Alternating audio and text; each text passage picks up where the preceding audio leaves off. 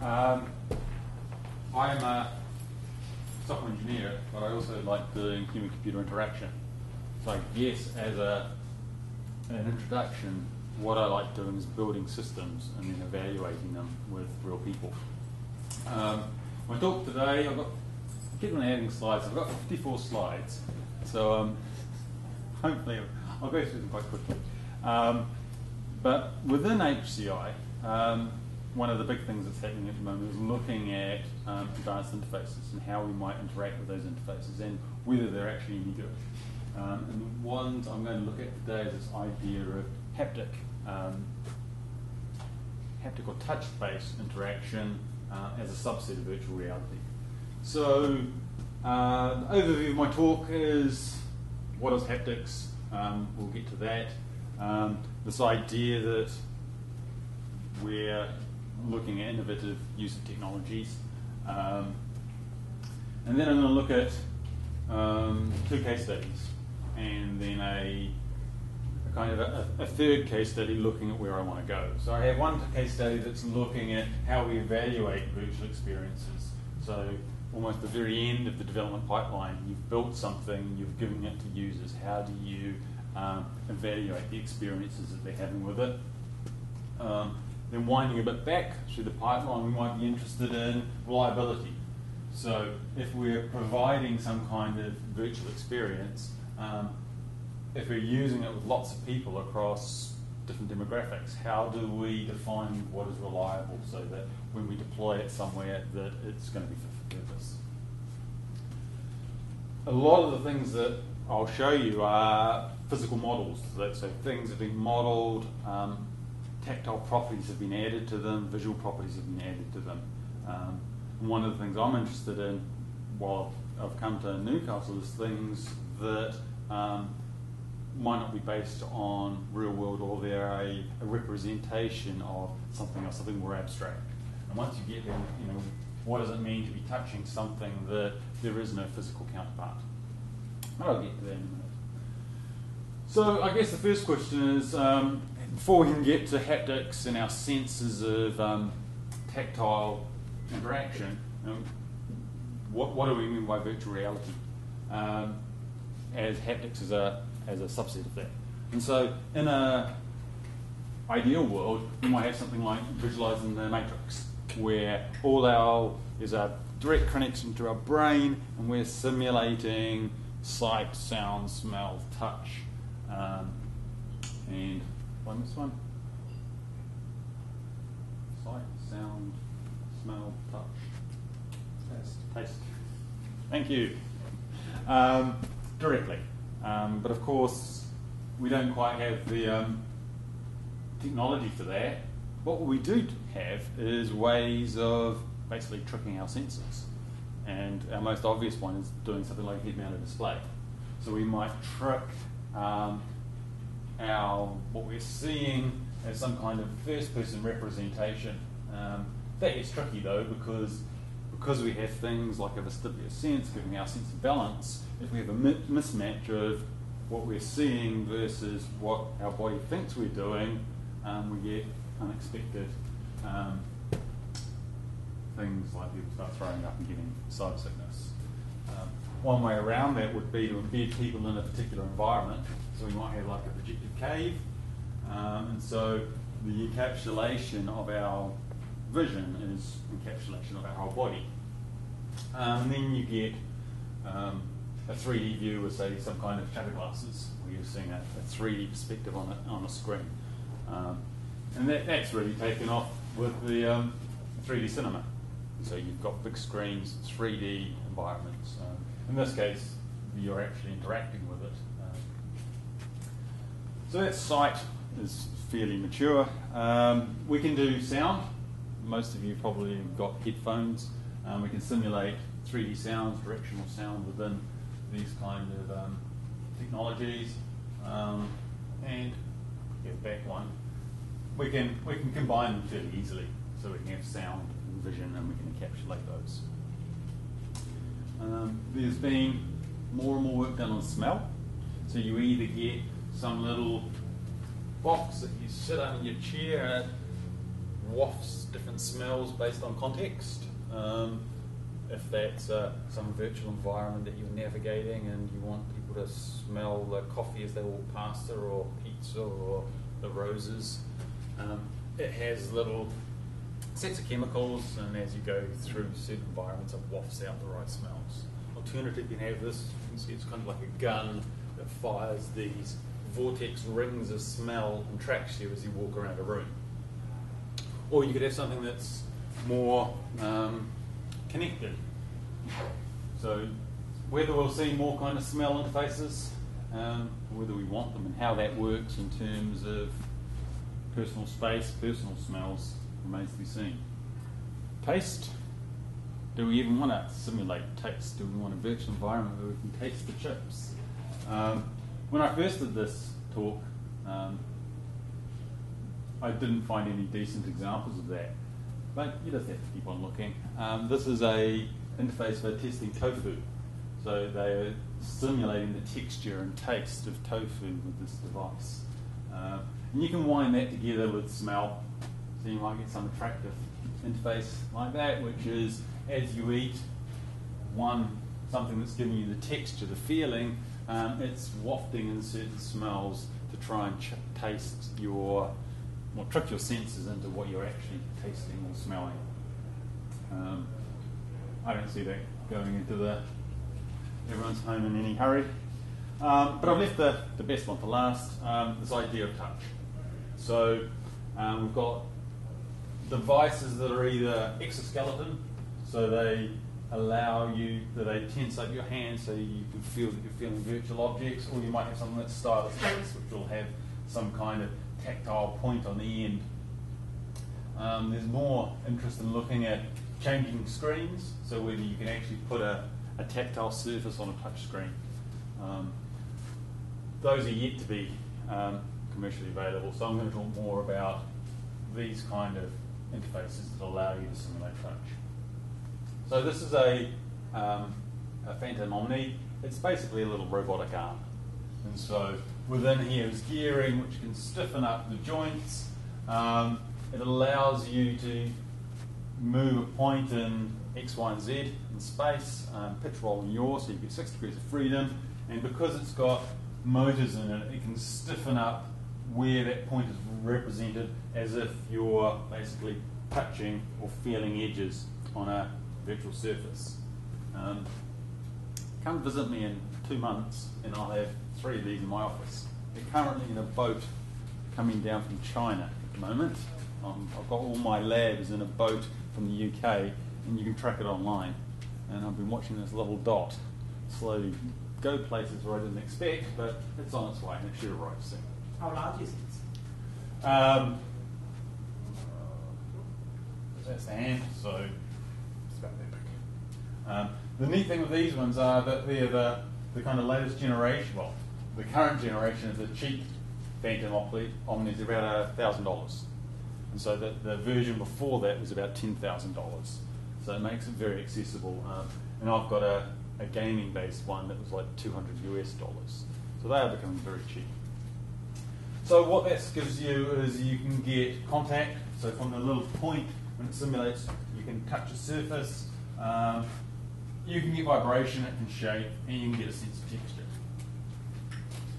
So you can combine all these together, um, sight, vision, sound, and it's fairly easy now to build virtual environments that have um, vision, sound, and touch.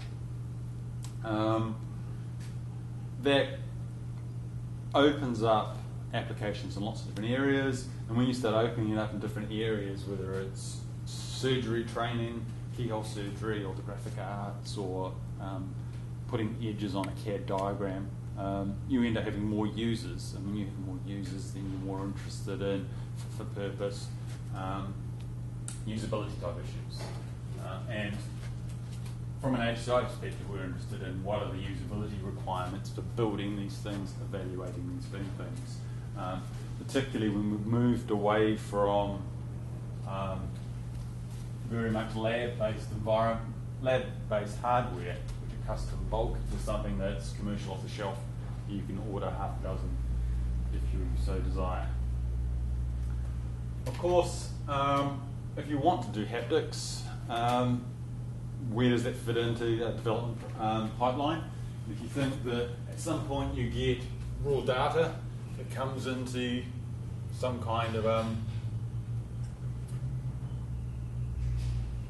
part of, part of your system, um, you want to enhance features, whether they're surfaces or edges, um, texture on a surface, um, map that to some kind of abstract model, which then you haptically render. So if you think of a, a normal rendering pipeline where you might have visual rendering over a 3D mesh, um, if you want to add properties or texture properties to that 3D mesh, um, that would then be haptically rendered so that when you then prod it with your haptic device, it pushes back using a little robotic arm.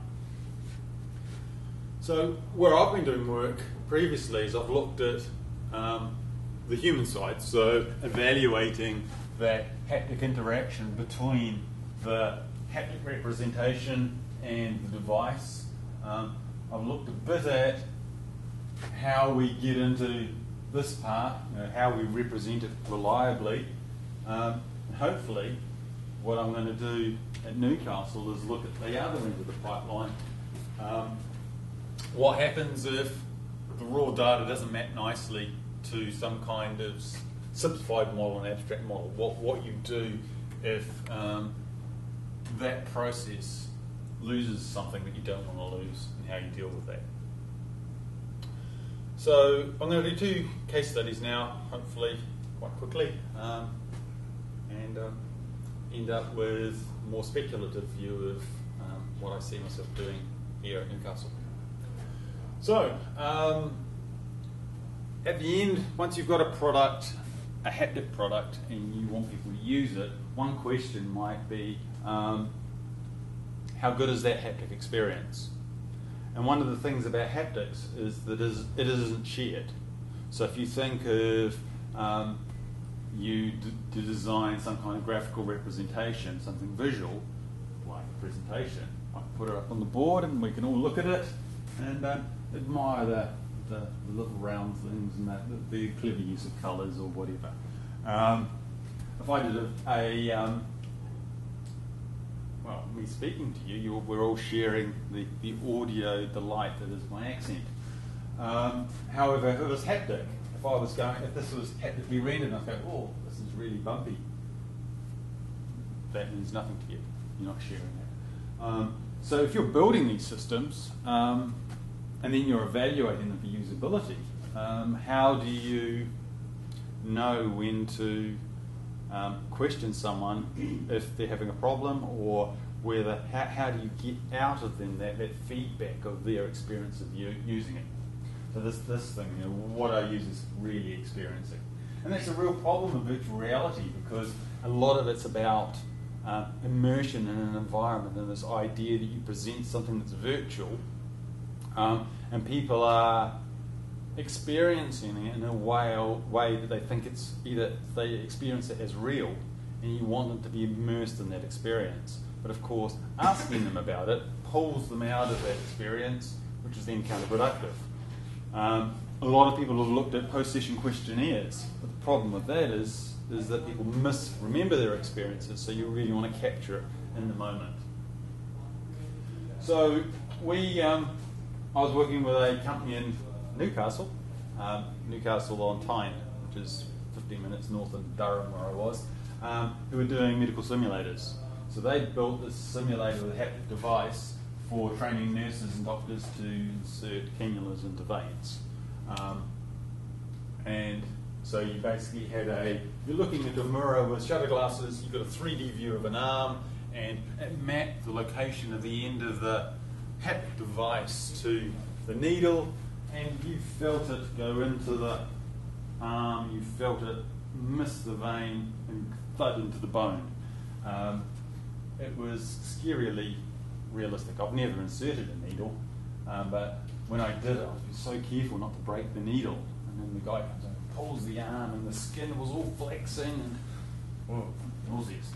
Anyway, uh, one of the things we're interested in is teaching good practice, so 15 degrees angle into the arm, because you don't want people, nurses giving injections, prodding a lot. And at the moment, they practice with oranges, um, supposedly, or mannequins. And the trouble with mannequins is after a couple of jabs, you start leaving lines which then other people can follow. So th- this provided a neat way of collecting performance metrics. So what we're interested in is how do we um, evaluate that experience of actually using the tool. So we had the obvious performance metrics that you could get the, the procedure they went through, palpating the vein and prodding it and not digging too much. Um, we did the standard usability questionnaires. Um, it's very similar, but we the thing we used was new, which was a verbal protocol. So we got them to talk about their experience as they were doing it. Um, we went to King's College London and we got 12 third year doctors and got them to jab some people with the system. What did we find? Um, talk, think out loud protocols are fairly common in HCI, but people have trouble expressing um, the tactile sense. So your tactile is your, your touch, and your kinesthetics is your arms, your muscles. And you don't really think about those kind of experiences on a daily basis. You might talk to someone and say, you know, I, I saw something neat, or look at that. You don't really, you don't really talk about, um, you know, the texture and the, the, the, vocabulary of touching things as much. Um, we found that performance metrics can hide poor technique. Um, so if you're looking at, in this case, um, needle angles, if they put an angle into the into the through the skin and then wiggled it about quite a bit before they then put it into the vein, if you're only registering the performance metrics of the the angle in and then the angle into the vein, you might miss the, the moving about. And if you had a real person, they'd probably be screaming about that. So performance metrics by themselves can be misleading. Um, questionnaires for presence is difficult, is problematic because people misremember their experiences. And we have people saying that you know it was really fun, I did really well, um, and then you see them muttering along. We watched, we did um, video analysis, so we saw them muttering along and the problems that they had while they were actually doing it. Um, but then when they were doing the questionnaire, because it's your system that they're evaluating, they're all happy and smiling. They don't want to give you negative feedback, which of course is very helpful. So, all's not lost. Um, we just need to look at things different ways. Um, we end up with more questions. So, one of the next steps was to then perhaps look at some kind of haptic vocabulary. So, if we provided um, participants with this vocabulary before they started, that might give them um, a, a, language of feeling, touching, haptics, and uh, hopefully give, give us more, you know, is it soft or sticky or spongy or um, rubbery um, to help narrow down usability issues. Um, alternative, we could map through devices. So you could imagine if some user was using one device, you ghost another device, so you're not providing any input, but you're sharing the output. Um, that might be useful. Or you could visualize the forces. So maybe you want to somehow visualize the forces that they're doing, visualize where they are as a way of prompting them when they perhaps have problems or uh, it's not working right. So that gives us something to think about for evaluation. But of course, before you get to evaluation, um, you've got to make sure that what you've got is even remotely reasonable.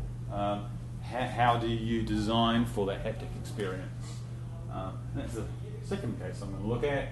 Is this idea of um, supporting the haptic experience, and it's crashed. Don't go back to the beginning. Sleep. Okay, so if you think about how we interact as people, um, a lot of what we do has tangible aspects to it, whether it's um, examining items, holding things, um, greetings, shaking hands, the like. Um, what we thought about is what's a where's a domain where touching is very important, and one we came up with this idea of um, shopping, you know, haptic shopping. So if you go shopping, you, you pick stuff up you, you test materials for its texture, you test it for its weight. You're going to buy a new device, the actual weight of the device might be important. If you're going tramping for three weeks around somewhere exotic, Australia used to be my example, so I'll say France. Um, you might be concerned about the weight of the book that's going to be in your backpack for two weeks. Uh, if you're going to buy a new electronic device, the difference between an iPad and an iPad Mini um, is considerable. The iPad Mini is is lovely. It's much lighter than the normal iPad, and all kinds of things. Of course, if you go buy that online, um, you can't pick stuff up. You're going to buy it on Amazon. Um, how do you know that the clothes are going to be soft or that corduroy is going to have those ridges that you really want? And so we thought that would be a neat way to look at where haptic devices might, in a home, augment that, that shopping experience. Um, but of course, what is the design space? So if you've got items that you want to compare, um, you want to compare them by weight, in this case, devices. Um, you'll have some obvious, you, you'll know the minimum that your device can simulate. You'll have perhaps a maximum. So for this is a Omni, it can do 3.3 newtons of force. And so you think, well, okay, um, we want our we want our haptic renderings for our virtual objects to be of such distance so that we can reliably differentiate between them it could be, well, okay, we'll put one lower this end, one lower the other end. It's fine. But what happens if you have more devices? Um, how do you start partitioning up your design space for, in this case, weight, so that you can make sure that all your objects can be accurately um, felt for weight? Um, what happens if you have even more? So, at what point do you need to, as a in this case a web designer for an online shop, think about how you chop it up and, and what, what are the bounds. Um, so that kind of brought us to two main questions. Um, how do you determine the minimum difference between two stimuli, weight, texture, that are reliably perceivable? Because um, if you have two objects, I guess the difference between an iPhone 4 and an iPhone 5, there's not much in it. Um, an iPhone 4 and an iPhone 3G. Again, um, if people can't reliably perceive the difference, how are they going to make informed judgments? And once you've got that, um, we should be able to chop up our, our, our design space so that we can guarantee with some level of probability, and we looked at 75%, um, reliable interaction with with the, with the um, objects and hopefully differentiate between them. So we ended up wanting to look at the two major things that people do with haptics, which is weight, weight of objects, and texture, um, stimulating, uh, simulating different texture effects. So in our case, we were looking at stickiness. Um, if you start looking at what is texture, um, that's another huge project in itself. So this is work I did with one of my PhD students called Yasser Bamaroff. Um, he built these environments, one with weight. So he had two cubes, and we got a whole lot of people to, um, we made, what's it here? We had 27 trials um, of different weight combinations. So the cubes all look the same, but they felt differently. Some of them were the same weight, some of them A was heavier than B, and likewise. Uh, we ran it through 24 participants, so we get 648 weight judgments. We did the same with texture. Uh, in this case, we had two surfaces that you could then feel the stickiness of the textures, and then the user had to make some kind of judgment call. In that case, we got 900 stickiness judgments. So what you do with that is you take, this is, this is the example from, um, what this needs now is a laser pointer. Um, um, when you, this, this is the example from um, texture. So you start with, there's a difference between static and dynamic friction that we're looking. So we take unit steps of static friction, we then look at um, juggling um, different types of um, dynamic friction we average them all together from all our participants, whether they got them right or wrong, um, and we end up with this PSE, which is the point of subjective equilibrium. That should be 50. So that should be the point where um, they think it's heavier or they think it's lighter. We average them all together, we end up with this thing called a Weber fraction. If you want all the maths, I'll happily give you copies of the papers. Um, and at the end of the day, you end up with this percentage that you then multiply by your biggest decrement, in this case 0.9, which gives us a increment factor, which we can then flow across our design space. So for texture with a Omni haptic device, we ended up with eight partitions, and then that we could, with a 75% reliability, guarantee that people would be able to perceive between them. So perceiving between that one and that one um, should be possible, and and onwards. So you could then do all the permutations of that and allow you to make an informed decision of, in this case, we could do a maximum of eight objects um, using these um, simulated texture effects. So we end up with this thing called a JND, which is a just noticeable difference that we can then use for making decisions of our design space.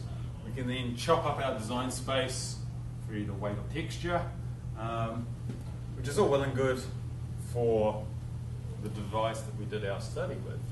Um, but then the question, of course, is if you add a different device, what does that mean? Um, and then that, that's a case of rerunning it again um, on another device and seeing whether this ends up being very device specific or whether it's something that's more general. Um, the advantage of the, the, stuff that we built, we've done it all in H3D, which is an open source, open device um, platform. So, hopefully, it's been reasonable. It's going to make someone uh, a nice undergraduate project to um, follow that up. Do you end up also having a confusion matrix from that kind of data before you collapse it to calculate? Uh, yeah, uh, you mean agreement between the. Um, um, so just, I mean, I suppose before you collapsed it to calculate the JND, you would have had a list of uh, well, weights, maybe, so potential weights, and the responses. Obviously, only on some cases they would match. Yeah, so on you. the main diagonal, but on the off diagonal entries, you'd have the misses. There's a there's a couple of algorithms hidden behind there that, that do that process. That's right. So you end you end up with um, getting all the correct answers and where, where the, the, the, the stimuli have been correctly identified and not correctly identified. And you're right. That, that's how it gets collapsed, and that's where you end up with these JNDs, which are looking at. Um, we looked at 50%, 75 and 25%, and then averaged it in the middle for the mean across all of those stimuli. But by looking at the off-diagonal entries, so those in which uh, observers and participants incorrectly judged, uh, was there a tendency for overestimation and underestimation? Is there a built-in bias in, in what people do when relying on haptics? We, well, one of the other study, well, one of the other things that we looked at was um, across different partitioning of the weights and the textures, whether they were low, medium, or high, and we found that when it was high weights, um, it was much it was squashed because people have much more difficulty um, differentiating between the you know uh, a very high weight and a very very high weight. Uh, so yes, that that gets that got built into it, and that's where this becomes a bit of a uh, a generalization because you end up taking the, the, the, almost the middle ground, the, the average of it all, and then applying it to the, the biggest increment. But again, we're then looking at the guaranteed. So if you had um, certain weights, so if you had lots of very light objects, that might allow you to shift um, how you do that partitioning because, like you say, that you're going to get differences across the different weight bands. And of course, the next question is, um, is it actually useful for something like an online shop? Because um, that's where we came from. So um, Yasser in his PhD, he then built an online shop that had a number of items um, he gave people scenarios like they had to go tramping, they had to take a massager for the aching muscles at the end of the day, and then looked at product motivation choices. And then some of the participants had pictures, text with weight information. Other people had pictures, text with They could compare things by the weight of the objects. They could feel the texture, the, the vibration that the different devices would do. Um, that is another whole talk, um, which I'm not going to get into today.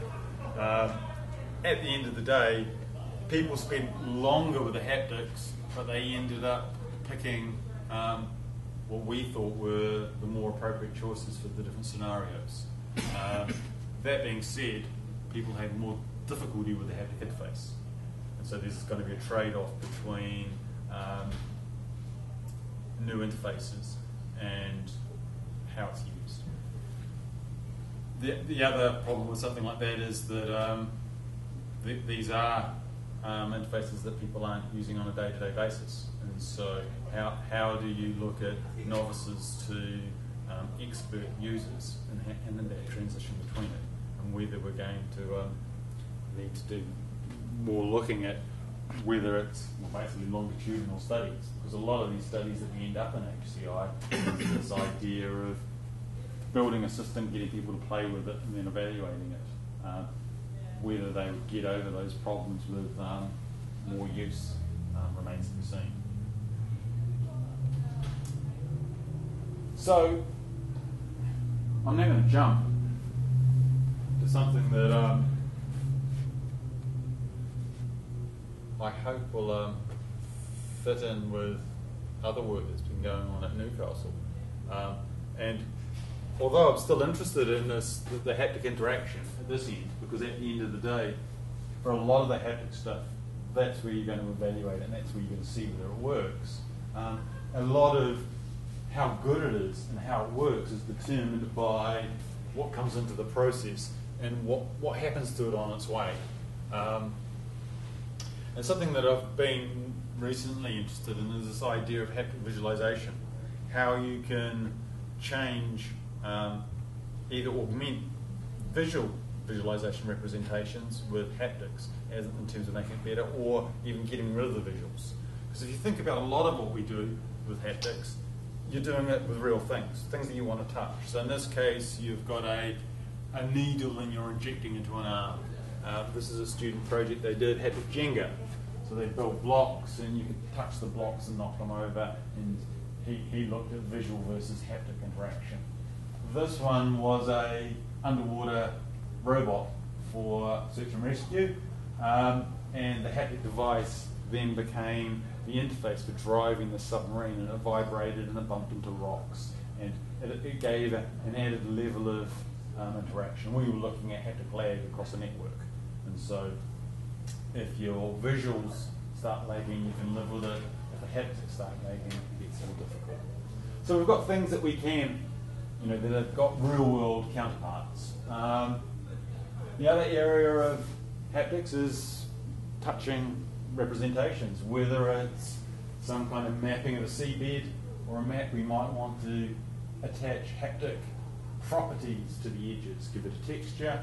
It may be we want to simulate something like wind patterns, and again, have some kind of force feedback as a way of augmenting that process. Or it could be that we take a photograph and we do some kind of image analysis, bringing out features which we then map to haptic properties so you can provide it as access to perhaps people that are visually impaired or providing some other kind of um, level of feedback. Of course, that all depends on the quality of what you've got in here. And it could be that you're working with data sets where you don't know what it should look like, or you end up with, um, when you're looking at these things, these are very, um, they're very coarse grained. So they're big chunky things that you're, you're trying to attach your haptic renderings to. So what happens if you don't know how to take your data and render it in a sensible way? And it could be that um, you've got a huge data set and you don't know what the features look like. So you don't know how to make that mapping from raw data to simplified version because um, you don't know what a what feature profile you're interested in. Um, you're having there's difficulty in defining what is what's the interestingness of the data set that you're trying to analyze, manipulate, um, or it could be that the things that are actually interested are, are latent variables and the relationship, the combinations of those um, that might not come out if you start mapping the big clusters or the, or the big outliers. Um, some examples I've been looking at is this idea of ambiguous visualizations. So if you've got a, a data set, you've done some level of visualization, um, if you get something like this, you might be happy because there's a, there's a clustering of red things here, not so red down there. But what happens if you get something like this? Um, is it that there's nothing interesting in the data that you're visualizing, or is it that it's, it's hidden in a way that you haven't been able to define the, the, the feature profile that the, the, the visualization is supposed to be pulling out. The plates at the top are Gleason um, plates from colon cancer. And what, they what those ones are representing is the differentiation of a, a graded 3 on the left, graded 4 on the right, and a one in the middle where it's ambiguous whether it should be a 3 or a 4. And in that context, when you're looking at taking a visualization and making diagnostic or recommendations from it, that can be problematic. If we then move into 3D, um, a lot of what we do when we have multivariate data and big data sets, we do some kind of projection, or some kind of simplification onto a low dimensional space, so 3D. So this one I think on the right is Facebook relationships.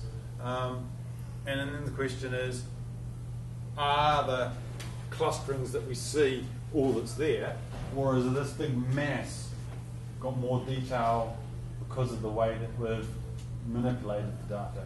What if uh, the visualization doesn't provide us with an easy way of navigating around it or even identifying what could or may not be important? Again, this is a 3D visualization that just ends up looking like a mess. So, I think, well, where could we um, potentially build haptics into this?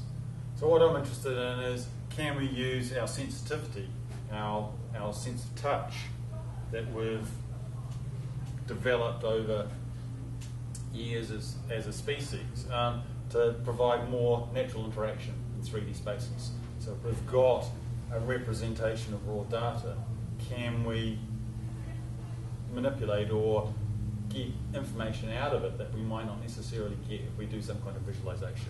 So this idea of haptic feature discovery, um, whether we can find unknown patterns, perhaps pattern structures that are uh, weaker than we expected, perhaps looking at novel representations. So moving away from the normal use of haptics, which is real objects, and going to some kind of abstract representation.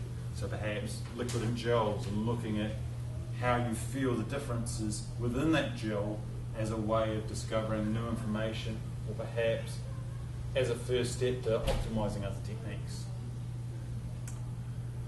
Unfortunately, um, you end up with more questions than answers and some of the challenges that I can see in my not too distant future um, are things like you've got your large data sets, haptics require 1000 hertz refresh rate um, to be useful. Um, and part of the implications for that is a lot of the haptic stuff is very simple. It is looking at very simple representations or very simple overlays on a, on a perhaps more complex visual. So some kind of optimization, um, either in terms of how you project big data sets into small data sets and haptically make some kind of um, decision of whether that's good or bad, and wind that back into the process, um, or a way of more efficiently defining the haptic rendering. Obviously, we're going to have devices uh, limitations if we're going to use commercial off the shelf. Um, I'm not a huge fan of building my own hardware, um, but that might be a, an, an alternative. Um, I, I- guess the way to look at these kind of stylus spaces, imagining you've got a bucket of sand and there's some crystals or gems in there and you're trying to find it with a stick. Um, whether that'll work um, remains to be seen. Um, now we've got things like vibration, uh, not temperature, but again, whether we can use the devices that we've got, whether we have to look at um, alternate approaches. We will get feedback overshadowing when we experience the world with multiple senses, um, how we deal with that, whether we want to restrict, do a lot of trials with blindfolded users, haptics only, or look at combinations between haptic, visual, um, and again, how that changes the nature of what can be found. Um, and then back to my main interest earlier on today, this idea of subjective thresholds. We're basically looking at relative judgments. Um, can we explore a 3D space with this more natural type interaction, find things, um, and then somehow tag them? So, how, do, how do you um, encapsulate the haptic experience of something that you think is interesting, perhaps profile it, and then add in some automated method which will then go through the rest of the data set looking for other um, occurrences. Again, um, how that'll happen, we'll see. Um, so, this is where I'll, I'll, I'll kind of end with this, this view that um, we've got visualization, we've got data mining.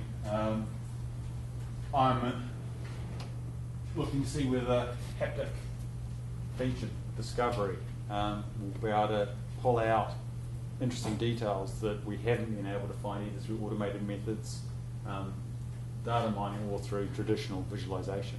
Whether that will give us a way of a new way of approaching um, big data sets and hopefully finding um, features of interest that may then feed into these technologies as well. Just as a teaser, um, in my ship that's currently, I've got a couple of haptic devices that are coming. I've got some brain interfaces that um, use brain waves to interact with your systems. And I've got a lab full of multi-touch tables. Um, so if anyone likes um, putting cables together and installing software, um, these have all been pulled apart and put into boxes. I'm going to need some tech support to put it all back together again. But when that all works, um, so these are basically um, big iPads, and they're all networked and they all talk to each other. Uh, so there's lots of scope for doing touch-based research. Thank you for your patience. Thank you.